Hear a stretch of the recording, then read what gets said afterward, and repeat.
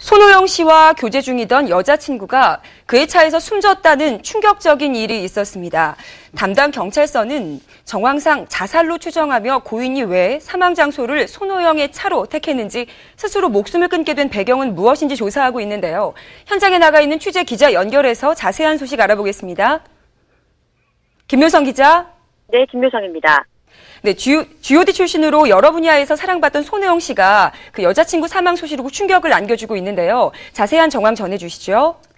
네, 먼저 어젯밤 11시경 그룹 G.O.D 출신의 가수 손호영 명의의 차량에서 여성의 변사체가 발견됐다라는 믿기 힘든 소식이 전해졌습니다.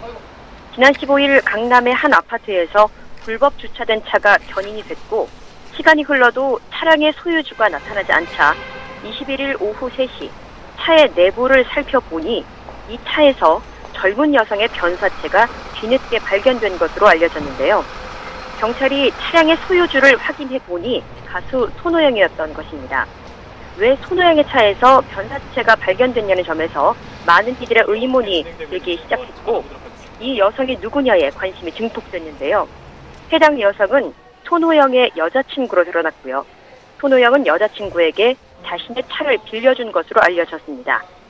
여자친구의 사망으로 충격에 빠진 손호영은 참고인 신분으로 어젯밤 10시께 서울 강남경찰서에 출두했고요. 약 2시간여 동안 조사를 받고 22일 0시께 귀가했습니다.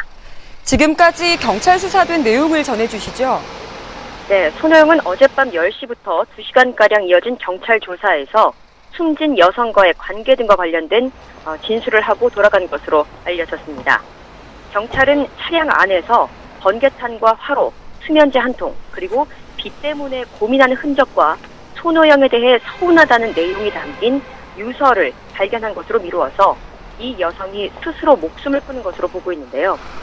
경찰은 추가 수사를 진행한 뒤에 필요하면 국립과학수사연구원에 시신 부검을 의뢰한다는 입장으로 전해지고 있습니다.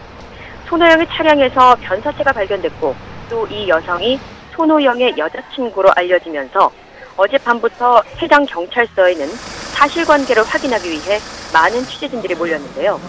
취재진들은 한마디라도 더 듣기 위해서 경찰의 일거수일투족에 집중하면서 질문을 쏟아냈지만 사건 자체로도 충격적이고 또 연예인이 연관된 사안이기 때문에 경찰은 말을 절대적으로 아끼고 있는 모습입니다.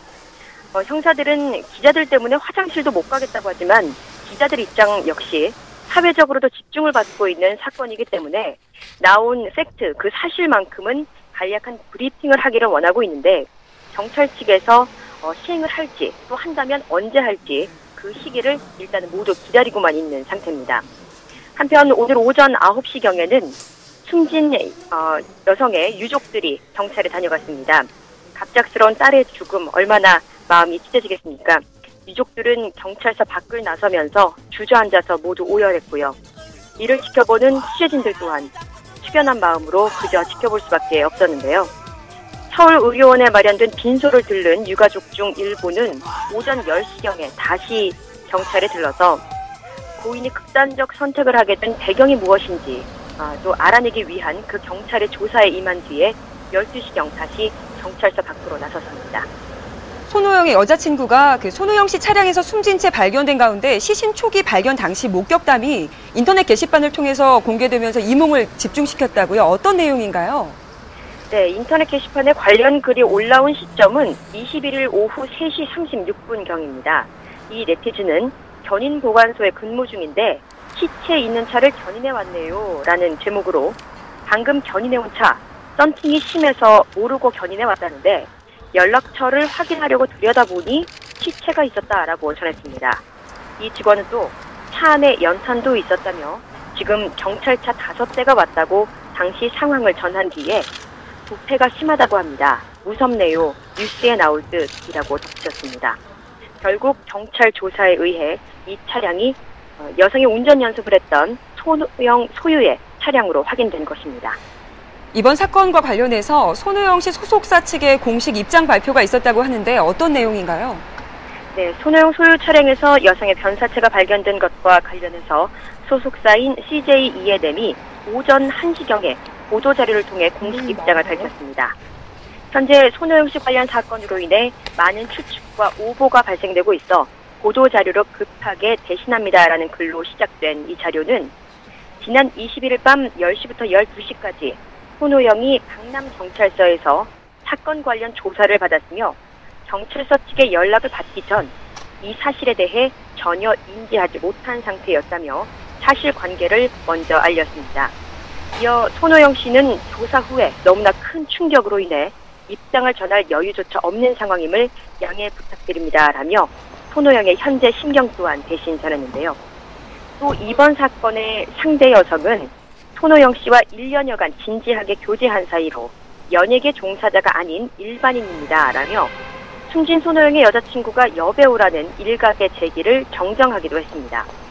또한 사건의 차량은 손호영 개인 소유 승합차로서 활동을 위해 구입한 차량으로 여자친구의 운전 주행 연습으로 자주 활용해 왔다고 전했고요. 최근 손호영이 앨범 작업 관계로 바빠짐에 따라 사소한 다툼이 있었지만 이러한 사건으로 확대될 정도는 아니었다며 예기치 못한 사고였음을 분명히 했습니다. 마지막으로 이번 사건과 관련해 손호영이 현재 진행하고 있는 2시의 데이트, 일말의 순정을 비롯한 모든 공식 활동 진행이 불가할 것으로 판단된다며 삼각 고인의 명복을 빕니다라는 말로 마무리를 했습니다. 또 오늘 한간에는 손호영이 내일 기자회견을 열 것이다. 또 숨진 손호영의 여자친구는 이러이러한 사람이었다라는 신상 정보 등 갖가지 추측성 내용이 루머로 확산되며 퍼졌는데요. 이에 대해 소속사 측은 전혀 사실 무근이라며 기자회견을 열 여건이 되지 않으며 지나친 추측과 억측은 삼가달라는 부탁을 건네기도 했습니다. 새로운 소식 들리는 대로 전해드리겠습니다. 지금까지 강남경찰서에서 와이스타 김효성이었습니다.